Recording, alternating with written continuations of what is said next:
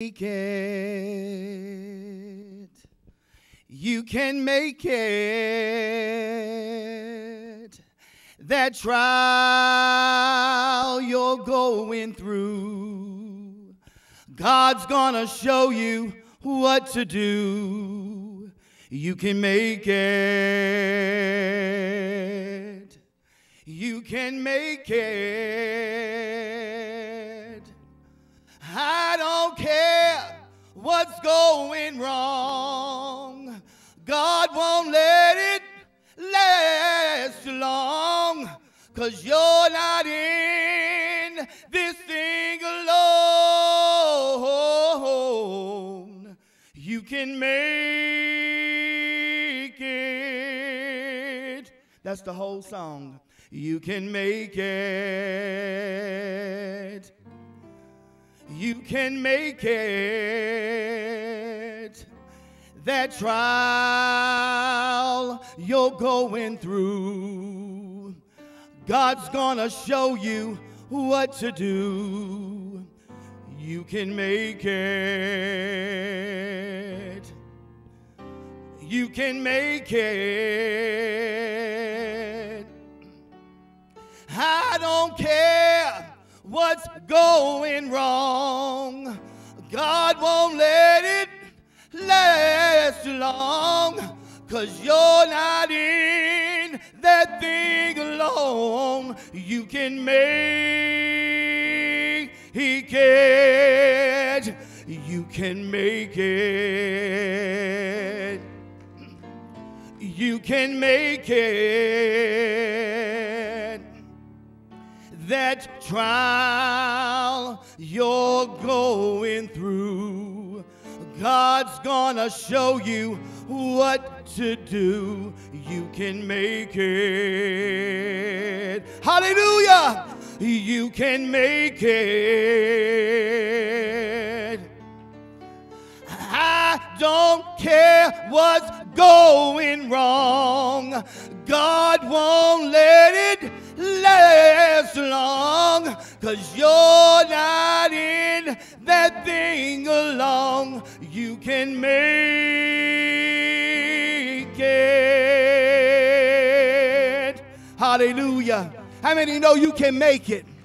Whatever the test, the trial that you're going through, you can make it on tonight. No matter what your situation is, as long as you got King Jesus, you don't need nobody else. You can make it on tonight. Hallelujah. Giving honor to God, who's head of my life, to my pastor, Bishop Blankenship, First Lady Blankenship, Pastor and Sister Bembry, and the leadership staff. I thank and praise God for this opportunity to stand before you. I don't take it lightly because it's an honor and a privilege to stand behind another man's pulpit. But I thank and praise God again for the opportunity that Bishop has given me. And while you're standing to your feet, I'm going to read two scriptures. The first one's coming from Proverbs 24 16, and then Romans 3 23. And if you have it, open your Bibles and say amen. Proverbs 24 and 16. For a just man falleth seven times and riseth up again, but the wicked shall fall into mischief. Romans 3:23 For all have sinned and come short to the glory of God. Lord, again, we thank you for your goodness and your mercy. We thank you for your loving kindness. We thank you for the grace that you bestowed upon us. We ask you, God, again to search our heart, search our mind, our soul, and our spirit. God, if you find anything that shouldn't be, take it out and strengthen us, oh God. Clean us from the crown of our head to the soles of our feet. God, give us an ear to hear what the Spirit is saying to the church. Help us to deny self and flesh, God. Get Ron out the way and let the Holy Ghost have his way in the name of Jesus. God, if there's any sick among us, send your healing virtue right now in the name of Jesus. In advance, we give you glory, honor, and praise. And everybody says, In Jesus' name, in Jesus' name. And before you take your seat, if I had a thought, it would be I've fallen and I gotta get up. I've fallen and I got to get up. You may be seated in the presence of the Lord. And I'm not going to be before you long, and I'm not one of those dynamic preachers like Bishop Gwendu. I'm just little old brother Ron. But I've fallen and I can't get up was a popular catchphrase of the early 1990s. It was a culture based TV commercial. It was originally a commercial for medical services called Life Call. The idea behind Life Call was that many senior citizens live at home alone and may find themselves suddenly in a medical danger or situation that nobody was there to help them. In that kind of situation, they would use their Life Call button or their badge, which was worn around their neck or around their wrist. When the button is pressed, the person is immediately put into contact with a dispatcher who can send them a paramedic, a fireman, or emergency services. In 1999, the trademark was canceled, and in October of 2002, a similar phrase came Help! I've fallen and I can't get up. I don't know about you, but it seems like the older I get, the harder it is to get up. Praise God, hallelujah. But we know that that particular um, trademark changed from life call to life alert. Both phrases are still currently used today on TV. And while I got home from church this morning, I normally lay across the couch and shut my eyes and take a little cat nap, as they say. And every commercial was life alert. I'm like, okay, Lord, what is going on with this? But falling is a scary thing. A young person can fall and get right back up. But like I said, an older person like me have difficulties getting up. The young person can fall and just pop right back up. But me, when I fall, I have to roll on my side, climb up on my knees, crawl to a piece of furniture that's heavy enough to pull my weight so I can grab hold and get up. Hallelujah. How many know what I'm talking about tonight? Glory to God. Hallelujah. And I got to bring myself back up to the place where I can stand up. But not only do we fall naturally, but we sometimes fall spiritually. In our walk with God, we will always not cross every I and dot every T. Said that backwards. But now we don't have to live a life of sin. But if we fall, we have an advocate which is our Savior, the Lord Jesus Christ. That's our life alert that works on our behalf. We must realize that if we do fall and make a mistake, that we can't stay down for a long time. Because if you stay down for a long time, that's when the enemy will begin to beat you and begin to talk to your mind, begin to tell you that you ain't worth this and worth that. Glory to God. I heard a saying say, if at first you don't succeed, what? Try, try again. Fall could mean coming short of God's glory.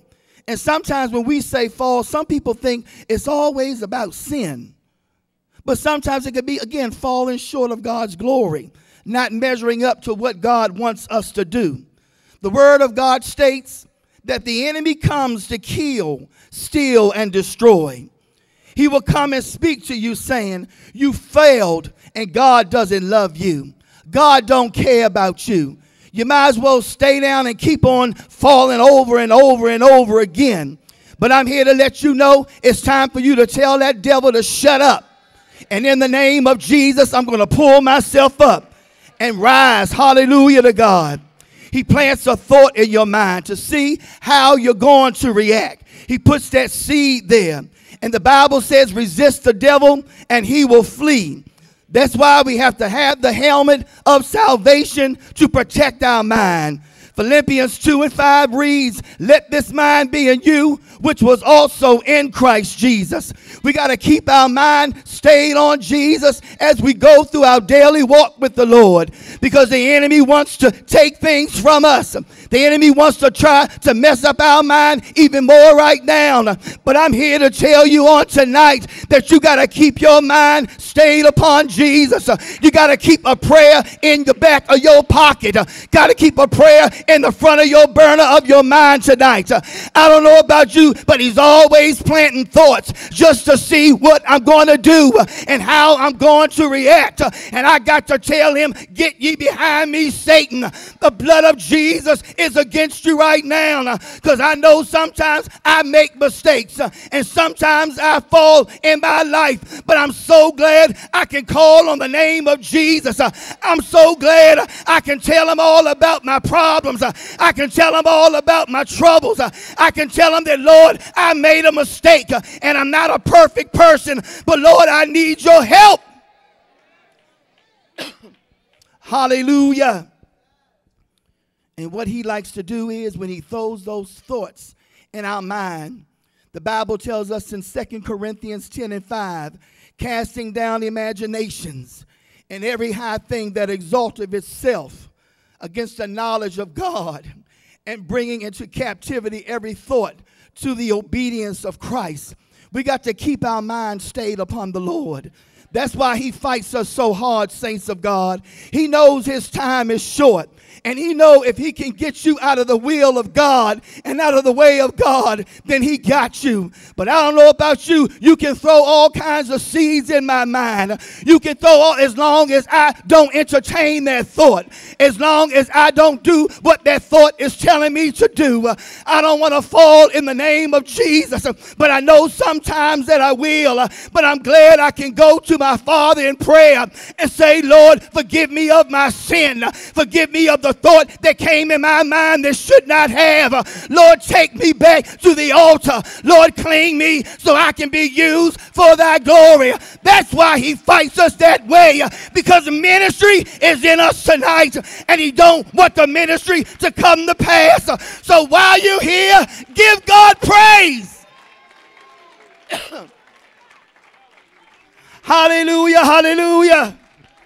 Come on, give God praise in this place.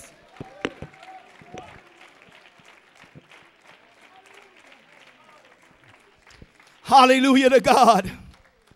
It reminds me in the book of Second Samuel, the 11th chapter, talks about King David and how he fell. What he did was he looked out of his window and saw Bathsheba out there bathing. He said within himself, if I can just have her. Not only did he say it, but he did it.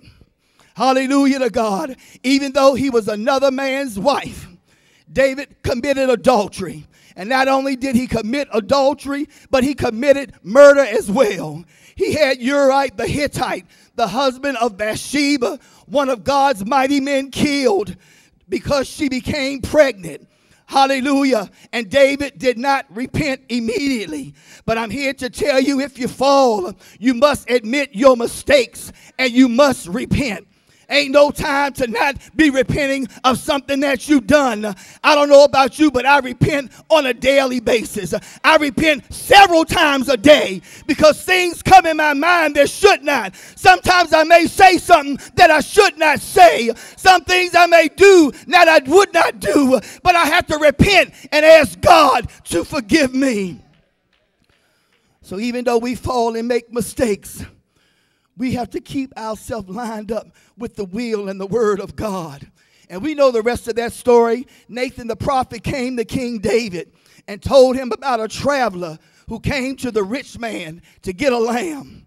The rich man did not want to give up his lamb, but he told him, Go get the poor man's little one ewe lamb that he raised up from a little baby, and he prepared it for the traveler. And when King David heard that, he got upset and said to Nathan, As surely as the Lord lives, the man who did this thing, he must die. Nathan told him, King David, thou art the man. He realized, Lord, it's me. I did the mistake. Then Peter, I mean, then David, he repented of his sins. That's where Psalms 51 come together. says, Have mercy upon me, O God, according to thy loving kindness, according to thy tender mercy. Blot out my transgressions, create in me a clean heart, O God, and renew the right spirit within me.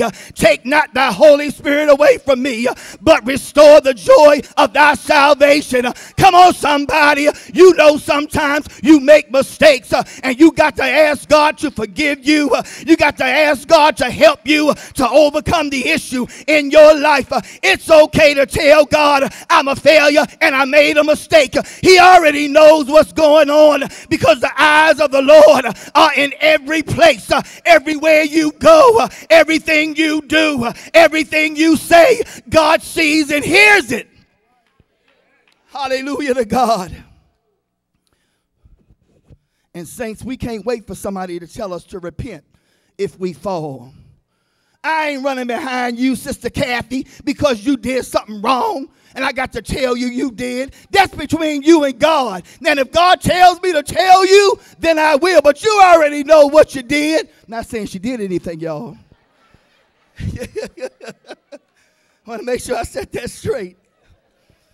But if you make a mistake, the word of God says in 1 John 1 and 9, if we confess our sins, he is faithful and just to forgive us of our sins and cleanse us from all unrighteousness. The song states, We fall down, but we get up. Saints, if you make a mistake, don't fall. The enemy is trying to hinder your ministry.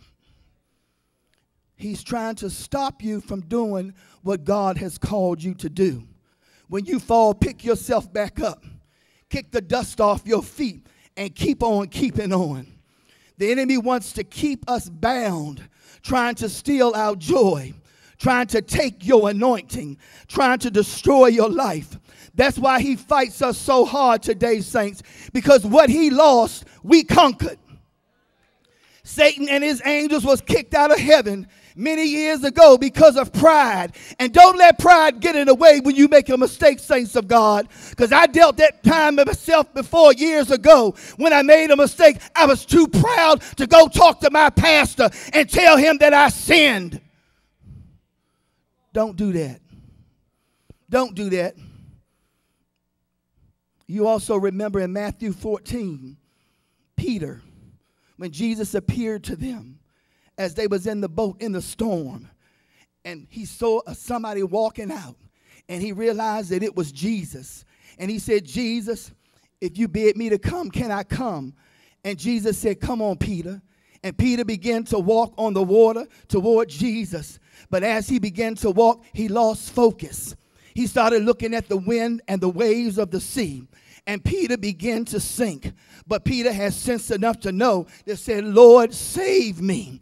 And Jesus stretched forth his hand and saved him. My brothers and my sisters, today we sometimes get overwhelmed with trials and tribulations and tests that come in our life. But we got to keep our eyes focused on Jesus because he is the author and the finisher of our faith. Jesus wants us to know that I'm there for you. He said, I'll never leave you nor forsake you. I'll be with you to the end of the world. We can't steer away from God, but we got to get closer to God on tonight. We got to stay focused on God's grace and His mercy and His love for us. That's why He gives us that opportunity to repent. That's why He gives us the opportunity to come to Him and say, Lord, it's me standing in the need of prayer tonight. If we fall, Jeremiah 33 says, Call on me and I will answer thee, and I will show thee great and mighty things. He has great things in store for you, He has great things in store for me. He has great things in store for this church.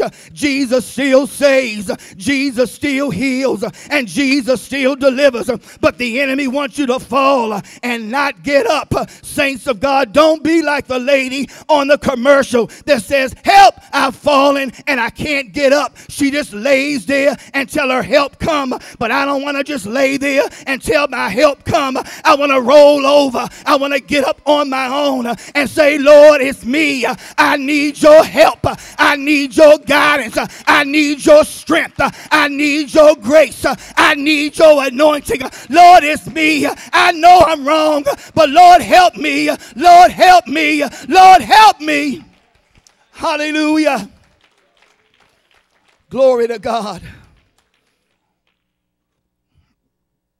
But we know that the race is not given to the swift nor to the strong, but he that endureth to the end.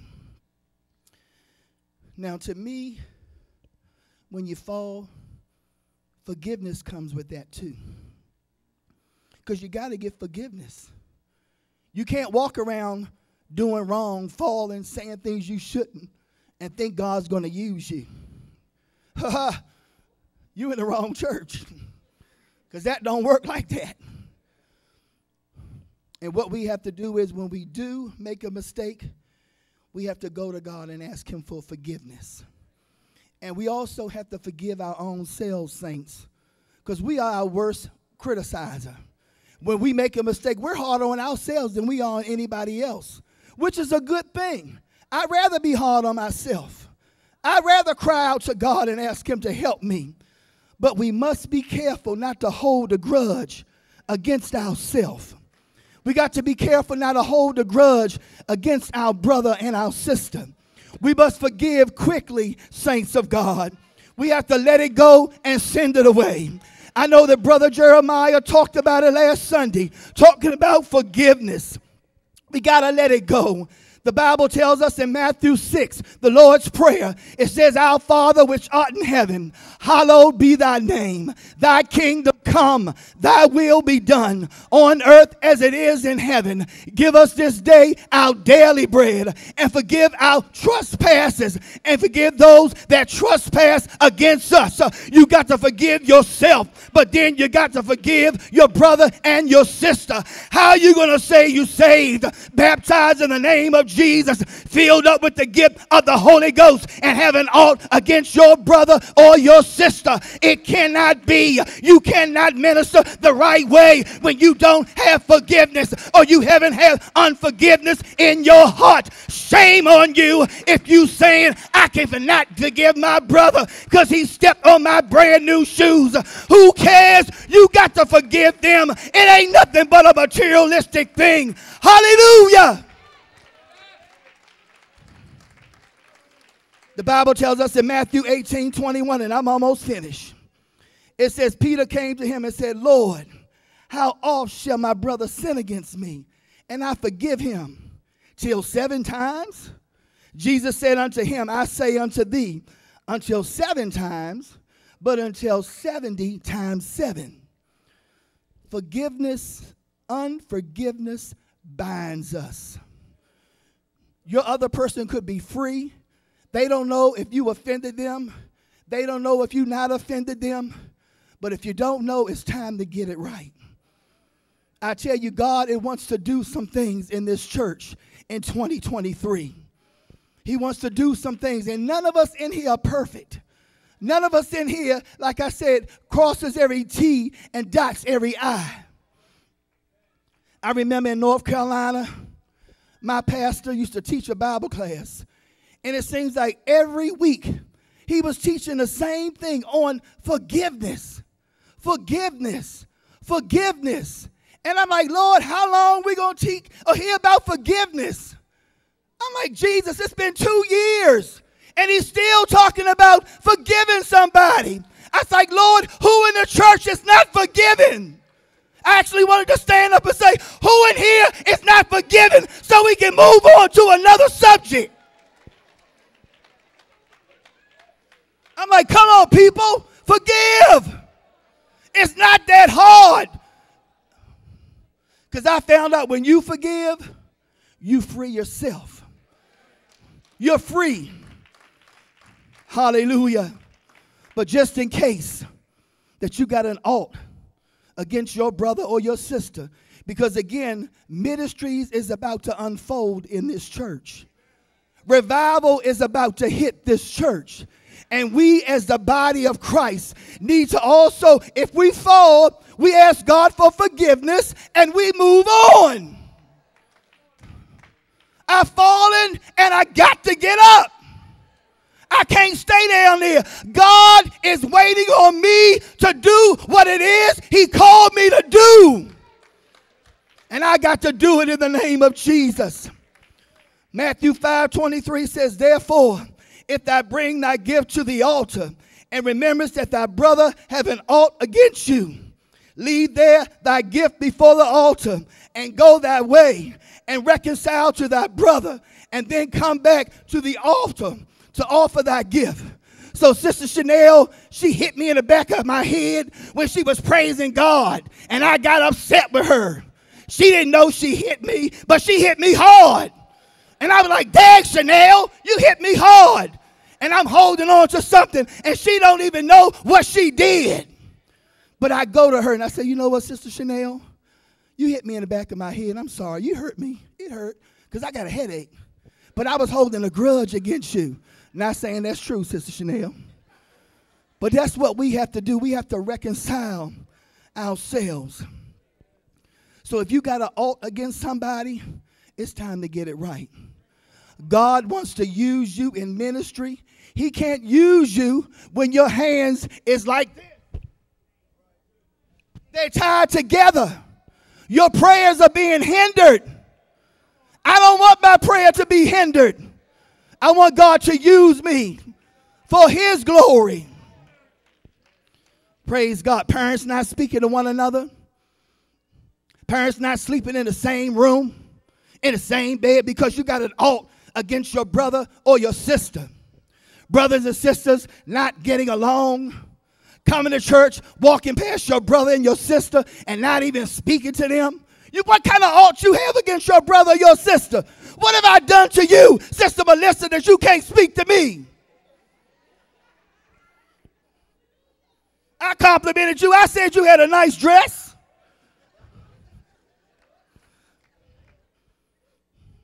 But we got to get past that stuff. More unsaved people are coming in this church. And God wants to prepare us for what He has in store for us in 2023. Revival is headed our way. But we got to learn to forgive so we can forgive others. God wants to use us, and we have to be right for the ministry's sake. Like I said, more ministries are being unfolded, and God wants to equip us with what He has in store for us. Some of us need to go ahead and birth your ministry. You've been pregnant too long. A pregnancy only lasts for nine months. But some of you have been pregnant for two years. Carrying around that baby all that time. That baby gonna come out walking and talking with teeth. It's a ministry. Birth your ministry. Get to the place where God can use you. That's my point tonight. God has a calling on your life. And some of you don't want to do what it is God called you to do. But we have to do it, saints. I think somebody said it tonight. We got to relieve the pressure and the stress off of our pastor. Our pastor can't do everything. If he does, we're going to end up killing him. And then we're going to need another bishop. God wants to use you. He's waiting on you. He's waiting on your ministry to be fulfilled. He's waiting on you to step up and say, Lord, it's me. Here I am. Send me. I'll go. Hallelujah to God. It's time to deliver that baby. It's time for you to go into the delivery room and deliver that big old child that you have. Hallelujah. Don't hinder your ministry. Don't be disobedient to what God is telling you. Because if you do, disobedience is what? Say it louder. Sin. And I don't want to be sinning. I want to be used by God. I do. And I do want to say this. Sister Ruff, I know she's getting ready to get married, but she encourages me. She does. And I thank God for friends like that. I thank God for brothers and sisters that come and tell you you can make it. You can do what it is that God has called you to do. And sometimes we be so concerned about what other people think. I don't care about what you think. I'll be 60 years old this year, and I sure enough don't care. If you don't like my tie, whoop de doo. I didn't wear it for you anyway, I wore it for myself. But y'all, it's time to get into ministry. It's time to stop being afraid. The Bible says God hasn't given us the spirit of fear, but of power and love and of a sound mind. It's time for you to step out on faith. It's time for you to trust God. Musicians, come on. It's time for you to trust God. God wants to do something tonight. God wants to reveal his purpose for you. Some of you already know your purpose, but you're scared to move because the enemy's trying to trick you. Stop listening to the devil and tell him to shut up. Tell him to shut up. Then sometimes people do tongues and interpretation. We get upset. Well, Lord, why are you using her? Why can't he use you? You ain't trying to do it. He wanted to use you, but you ain't open up your mouth. Woo! My Lord. But God loves us, saints. He cares for us. And He wants us to be prepared in this year for what's coming. We got Narcotic Anonymous coming. We got grief coming. We got Alcoholic Anonymous. We got some other things that are coming down the pipeline. And in order for us to be prepared for these people that come in, we have to be ready spiritually. We have to be prayed up. We have to be fasting. We have to be seeking the face of God. So I fail. Get up! Hallelujah. So if you stand, I'm done. I told you I wasn't going to be long. But it's time to examine yourself tonight. What are you running from that you shouldn't be running from? What are you not doing that God told you to do, but you haven't done it yet? Some of y'all, it's, it's popping in your mind right now. Stop being afraid and let God do it. I will tell you this, brother um, Serrano came to me about Narcotic Anonymous. I prayed about it. I told Pastor about it. And I told Brother uh, Serrano, I said, God didn't say no and he didn't say yes. And then I sent Brother Serrano a text. And I said, Did the Lord tell you something or something? And he never responded. I said, I know he got my text. But the next morning I got up and I got on my knees in prayer. And God gave me my answer. He said, Yes, that's what you need to do. So I'm going to do what it is that God wants me to do. Even though I might be a little afraid, but I'm going to step out like Peter did, and I'm going to try to walk on that water. I'm going to do what God tells me to do. Don't hinder your ministry, saints. Don't hinder your ministry. God wants to use you. Open up to the Lord tonight. Surrender to him. Surrender your all to him. He can't, he can't, he can't do it if you won't do it. You have to unfold your arms and say, Lord, I trust you. This goes hand in hand with what Pastor Jarvis spoke this morning. He talked about sacrificial living. It's a sacrifice, but you can do it. You can do it. So tonight, I want you to come around the altar.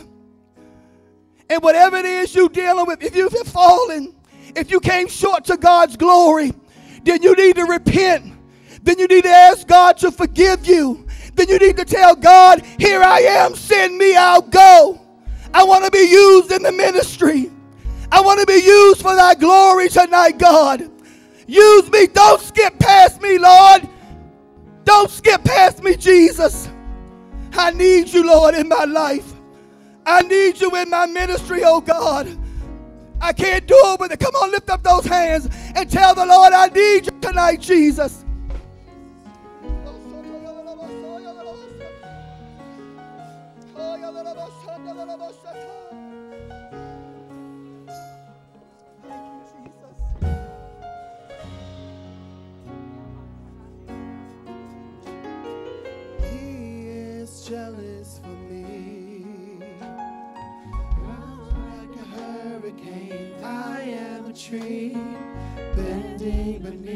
give it to you, Jesus. Lord, we give our minds to you tonight. We give our heart to you tonight, Lord. We give our soul to you tonight, Lord. Examine me, Lord. I'm open like a book, Lord.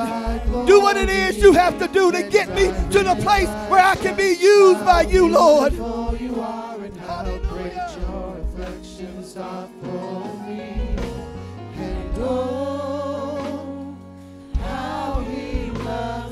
You made a mistake, but he loves you.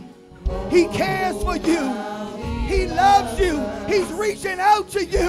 Reach back to the Lord tonight. Reach back throughout the Lord tonight. Let God use you in ministry. Hallelujah.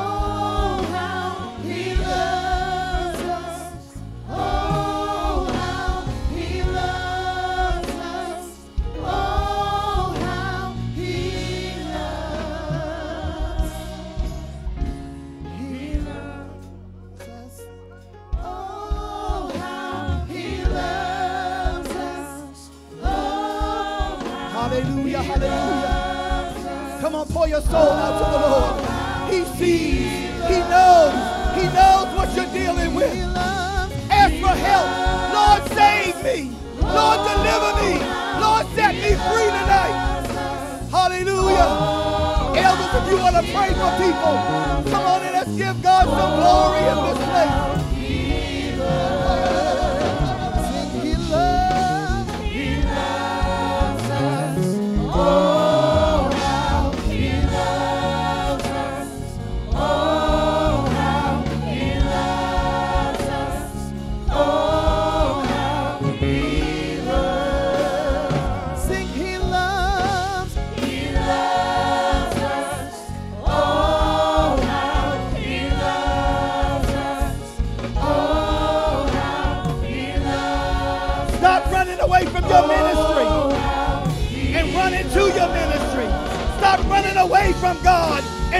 To God tonight. Hallelujah. Come on, come on, come on. Hallelujah. Lord, we surrender to you tonight. We thank you for loving us, Lord. Hallelujah.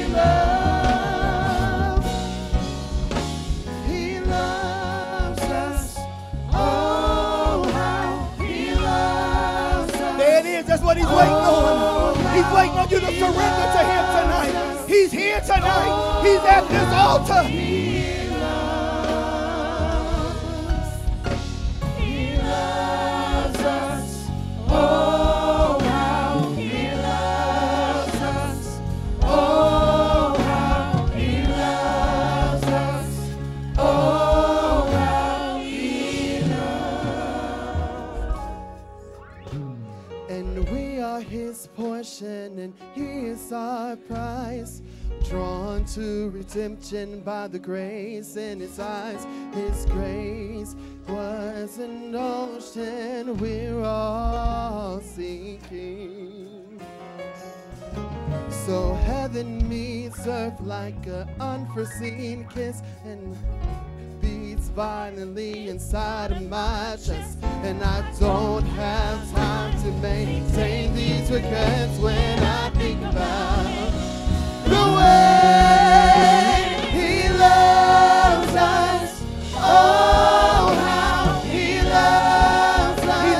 tonight. Oh, how He loves you he loves you tonight. loves us. He loves you tonight. That's why he's waiting on you. Come on,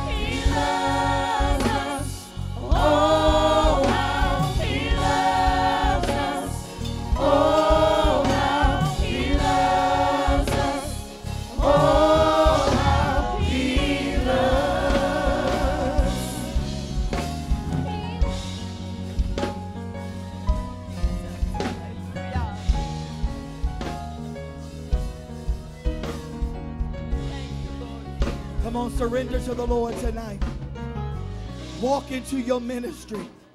Birth your ministry. It may be hard, there may be pain, but you're going to be all right. Hallelujah, Jesus. Let God do it tonight. Let God do it tonight.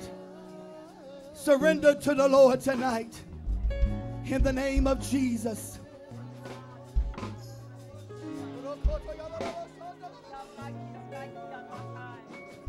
Stop running and run to the altar.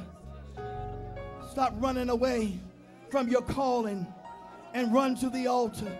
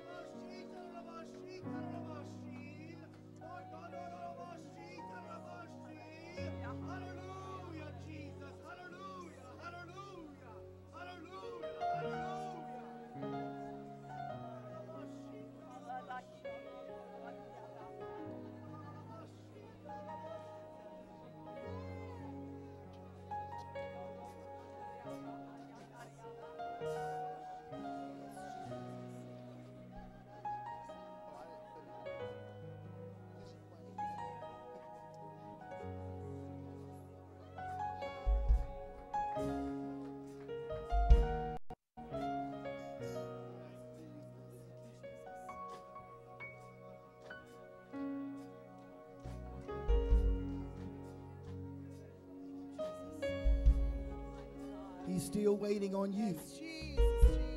He's still waiting on you. Surrender to the Lord tonight. Surrender to the Lord tonight.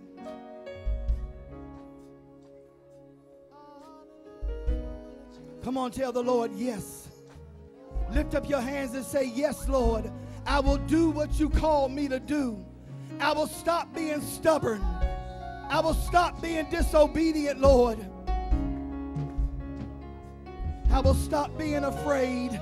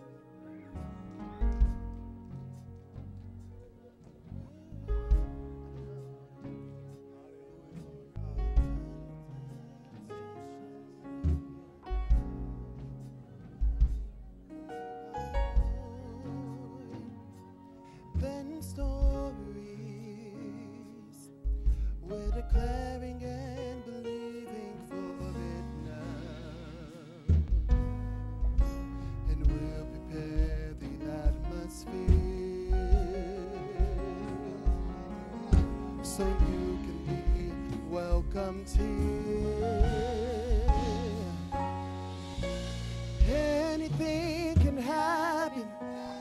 Anything can happen. Anything can happen. The moment that you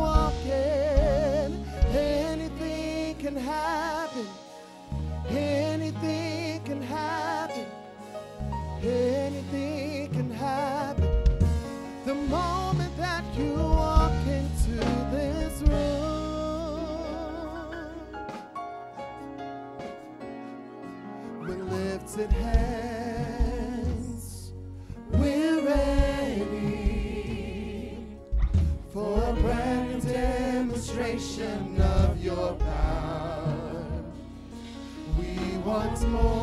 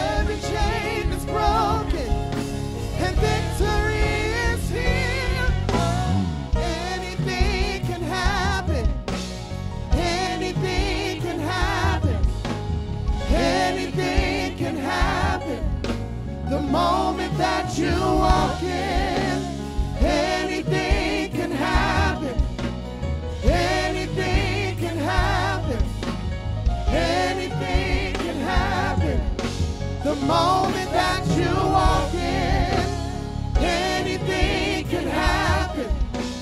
Anything can happen. Anything can happen. The moment that you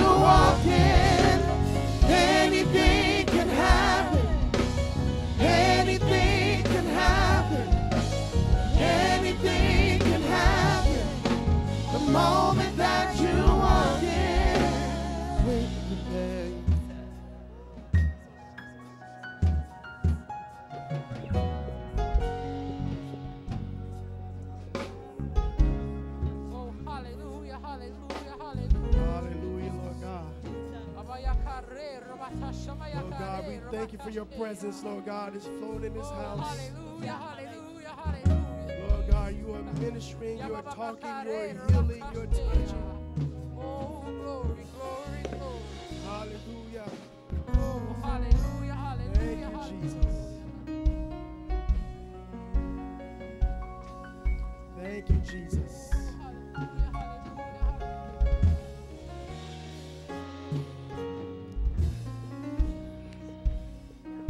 God's presence is flowing in this house.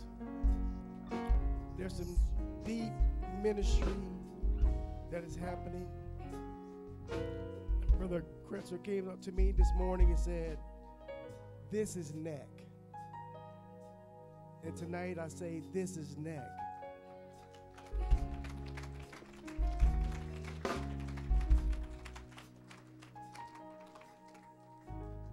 Forgiveness is flowing, repentance is flowing. That's what's going to jumpstart your ministry. That's how you can birth your ministry. And when you finally do birth your ministry, it's your baby. You got to feed it, change its diaper, be up with it late at night, growing pains. But if you stick with it, they grow up to something beautiful. Ministry is work. It is hard work. But you birth it, so you got to love it. It's part of who you are. It is who you are. And you just sharing it with the world, with this church. And Brother Serrano, a pastor, there are so many opportunities now to get involved in a ministry. You come out of alcoholism or you're grieving, you need help with parent. Any there's so many ministries going on that you can get involved with. Don't just sit on the pew now. It's we gone too far. We're going too far. God is calling. He's preparing you to get involved. And if you don't get involved, if you saw this morning, there we were crowded here this morning. It was old NAC. If you're not going to get involved, I promise you, these people come through these doors are going to get involved. Amen. Let us, let us truly be the church God has created us to be. And that's servants. We're servants. We are servants. Amen. Let's pray this week that God place a burden in our heart and we have an ought against our brother or our sister, let's make sure that we get it right. Let's make sure that's our responsibility. If you've been offended, they may not know, go tell them. Hey, you're offended me. Let's talk about it. Let's get it right. And once you do, you'll feel a heaviness fall off of you. And God says, Now you are ready. Now I can use you. Amen. Lord God, thank you for this mighty service tonight, Lord Jesus. Thank you for the great service this morning, Lord God. Lord God, we come expecting, Lord God, great things, and you have done it, Lord God, exceedingly and abundantly, Lord Jesus. We pray now, Lord God, that we can take in this word, Lord God, we heard this morning and tonight, Lord God, and apply it to our lives, Lord Jesus. Let it be a change, Lord God. Every time the word is being preached or spoken, Lord God, let it be a change in our lives. Help us to go forth this week and be that light. Help us not to continue to hide our light under a bushel. Let's begin to tell other people about what's going on at NAC, about what the church is doing. Because God is in the midst and He's changing lives. Tell them your testimony and watch them begin to come Watch their lives begin to change, and that's what it's about. Lord, we give you thanks, praise, and honor and glory, Lord God. Thank you for this service, Lord God, today, Lord Jesus. We give you praise and honor, Lord God. Let's give God a great hand clap of praise. Thank you, Jesus. Thank you, Jesus.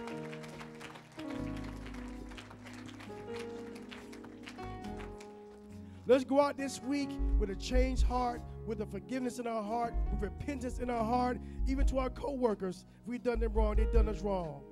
Amen. Let God use us. Uh, there's a snack bar. Let's go out and support Sister Jonisha. It's going to be great. It's going to be a great week. Let's come back ready. On Tuesdays, you're going to the Alcohol Anonymous program. And come back Wednesday for Pastor Bible study, ready and raring to go. In Jesus' name, you are dismissed.